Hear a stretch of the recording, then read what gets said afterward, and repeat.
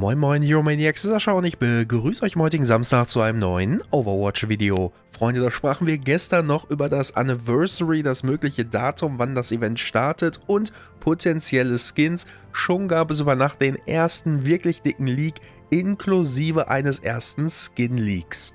Ja, Freunde, ihr habt richtig gehört. Der brasilianische offizielle Overwatch Twitter-Account hat heute Nacht den ersten Teaser für das Overwatch Anniversary Event auf Twitter aus Versehen hochgestellt. Ja, das Posting wurde zwar direkt wieder entfernt, aber natürlich, wie das nun mal so ist, das Internet ist schneller, nichts wird vergessen und ähm, sofort machte jemand eine Aufnahme davon, die auf Reddit landete. Vorweg sei dazu gesagt, ja, meine Spekulation von gestern scheint wirklich richtig zu sein. Das Anniversary-Event scheint wirklich am 22. Mai zu starten. Und nicht nur das. Ein offizieller Text im Trailer spricht davon, dass Items und Brawls aus vergangenen Events zurückkehren.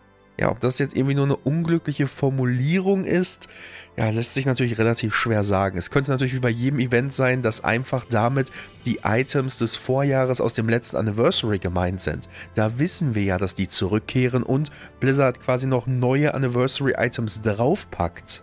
Trotzdem müssen wir beim aktuellen Wortlaut fast davon ausgehen, dass Blizzard während des Anniversary-Events ähm, dann wirklich einfach vergangene Brawls, wie zum Beispiel Lucio Ball für eine kurze Zeit zurückbringen könnte. Ähm, und halt den entsprechenden Loot. Umsetzbar wäre das mit Sicherheit, wenn man eine Anniversary Box anbietet, wo quasi nur Anniversary Items drin sind ähm, und dann vielleicht eine zweite Lootbox mit äh, Stuff aus den anderen Events oder vielleicht einfach die entsprechenden alten Lootboxen zurückbringt. Ich weiß nicht, wie das laufen soll, aber naja, wir haben nun mal diesen Wortlaut und der sagt uns einfach, dass ähm, Items und Brawls aus vergangenen Events zurückkehren. Ja, hier müssen wir mal warten, wenn wir uns dem Event nähern. Ich, wie gesagt, ich, ich habe ja spekuliert, dass spätestens nächste Woche Dienstag eh ein offizieller Teaser für das Event kommt und dann werden wir wahrscheinlich auch mehr erfahren. Für die meisten von euch ist es wahrscheinlich interessant, was mit dem Skin Leak ist, denn es wurde auch vorgestellt ein Piraten-Junkrat-Skin und ähm, ich habe den Skin gesehen und mich quasi direkt verliebt. Also richtig, richtig gut. Das mag daran liegen, dass ich momentan total im Piratenfieber bin. Ähm, ich mag ja unglaublich auch Sea of Thieves, ein anderes Spiel. Äh, aber dieser Skin, wow, einfach nur richtig gut. Und ja, es, es, schließt sich fast so ein bisschen dem an, was wir beim letzten Anniversary gesehen haben, dass Blizzard ähm, sehr verrückte Skins ins Spiel zu integrieren scheint. Wir haben ja letztes Jahr den äh, Power Ranger Genji gesehen und sowas.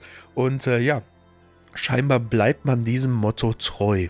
Ja, das war alles für diesen kurzen Morgen. Wenn es weitere Leaks gibt, werdet ihr es bei mir erfahren. Ich gehe ja nicht davon aus, dass äh, das passieren wird. Tatsächlich ist das sehr überraschend, was heute Nacht passiert ist.